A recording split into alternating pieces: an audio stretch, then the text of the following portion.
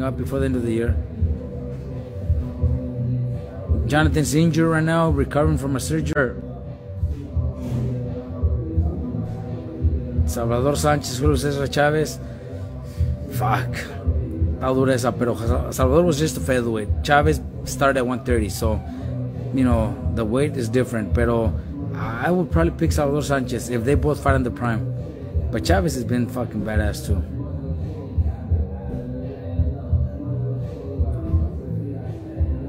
Saludos desde Torreón, Coahuila. Saludos para Oscar Hernández.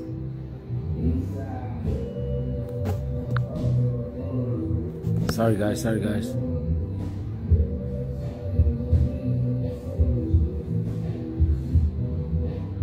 Okay, I got this one. Okay, ex ex Luis ex Exi Luis Rolly Rolly is my inspiration since since uh, since he also started at 17.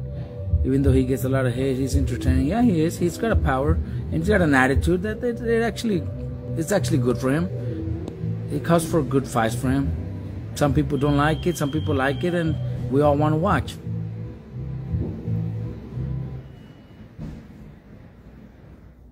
Why do Kate at gym? I don't I don't understand what you're saying. Ellie.